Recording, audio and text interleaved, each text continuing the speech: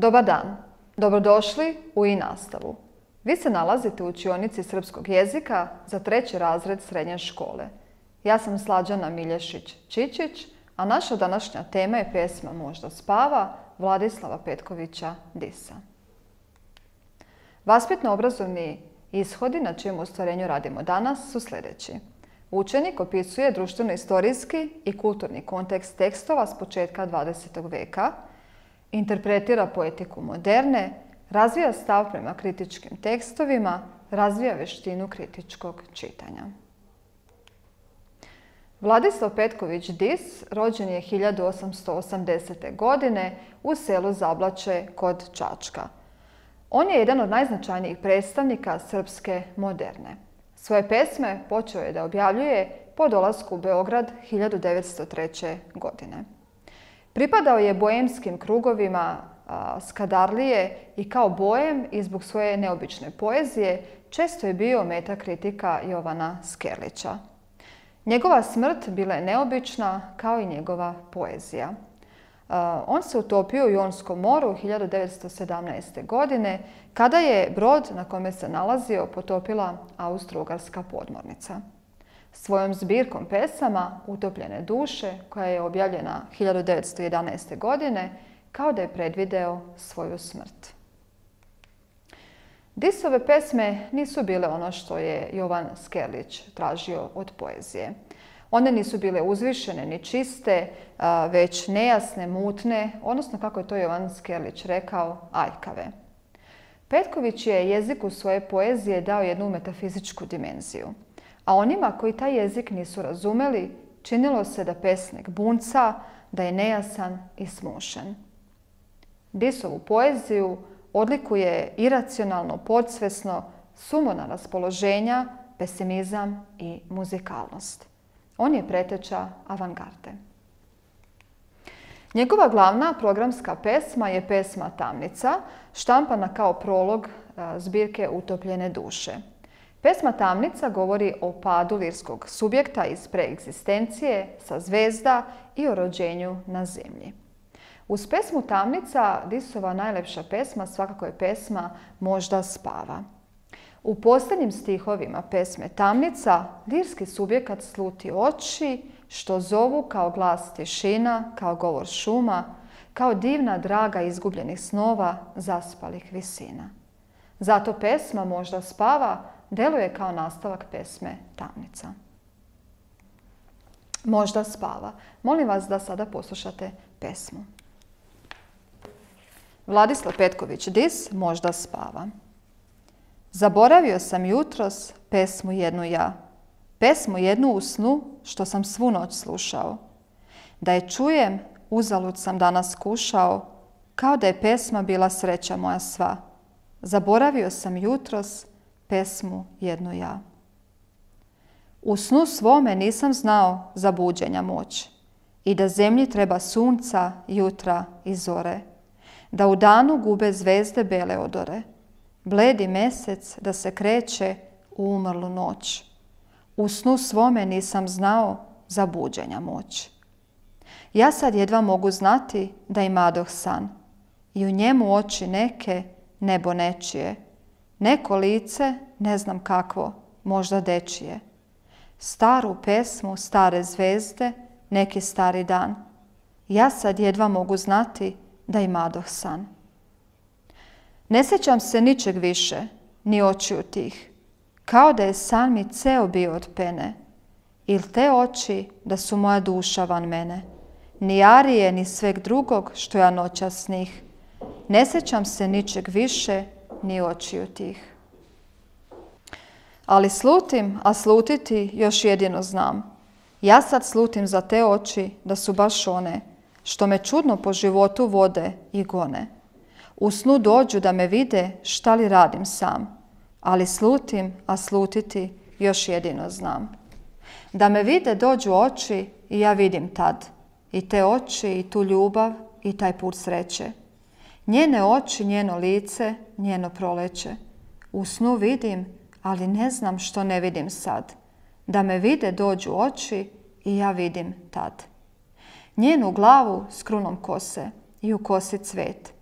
i njen pogled što me gleda kao iz cveća, što me gleda, što mi kaže da me osjeća, što mi brižno pruža odmor i nežnosti svet, njenu glavu s krunom kose i u kosi cvet. Ja sad nemam svoju dragu i nje ne znam glas. Ne znam mjesto na kom živi ili počiva. Ne znam zašto nju i san mi java pokriva. Možda spava i grob tužno neguje joj stas. Ja sad nemam svoju dragu i njen ne znam glas. Možda spava sa očima izvan svakog zla, izvan stvari, iluzija, izvan života. I s njom spava neviđena njena lepota. Možda živi i doći će posle ovog sna. Možda spava sa očima izvan svakog zla. Ova pesma izgrađena je na sljedećim motivima. Motiv sna, pesme, drage. Zvezde, bledi mesec, noć i s druge strane zemlja i jutro. Oči, slutnja i ljubav. U strukturi pesme uočavamo nekoliko tematskih celina. Pesma započinje motivom zaborava. Lirski subjekat je zaboravio pesmu koju je slušao u snu. U snu nije znao za buđenja moć. Postavlja se pitanje kako je to buđenje? Možda buđenje svesti. U pesmi, odnosno na početku pesme, javlja se i kontrast jave i sna. San je sreća, a java donosi zaborav. Dalje pesnik kaže Ja sad jedva mogu znati da ima Madoh san, koji je bio, kako on kaže, od pene. I u njemu oči neke. Lirski subjekat je zaboravio i pesmu, i san, i oči. On dalje sluti.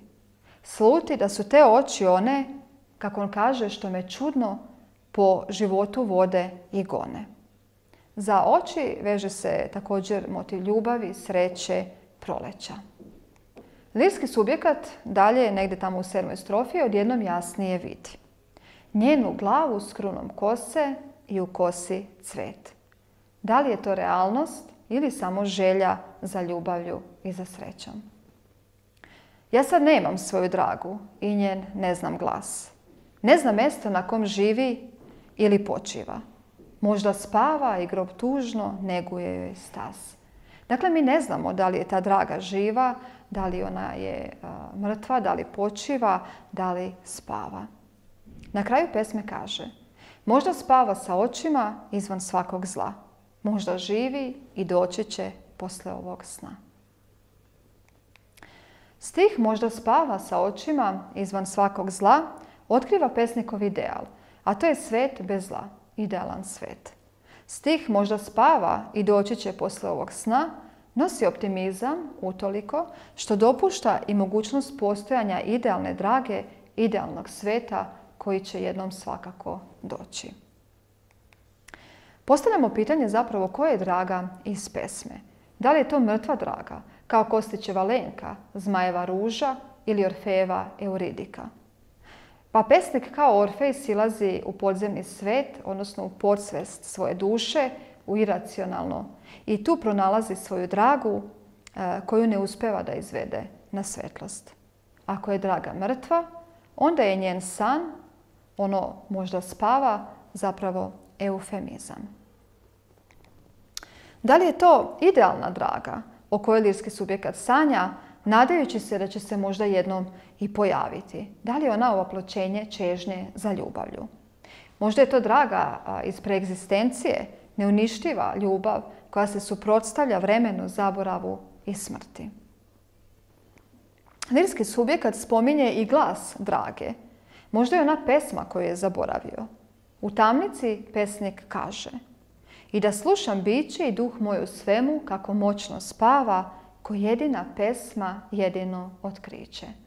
I u toj se pesmi poezija javlja kao uteha i smisao življenja. Dakle, možda je draga i ovdje zapravo simbol poezije.